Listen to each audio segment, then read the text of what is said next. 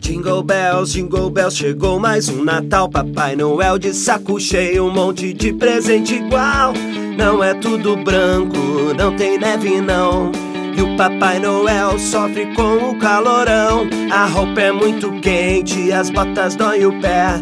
E ainda querem que ele entre pela chaminé.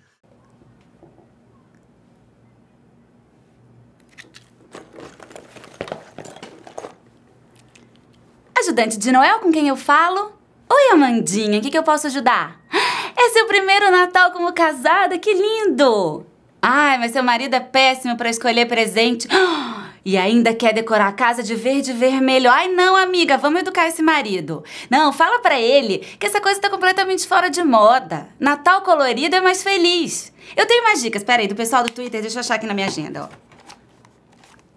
Você pode espalhar umas luzes coloridas pela casa, mas não na árvore. Coloca um cantinho que tá meio sem graça, ao redor de uma janela, de uma porta.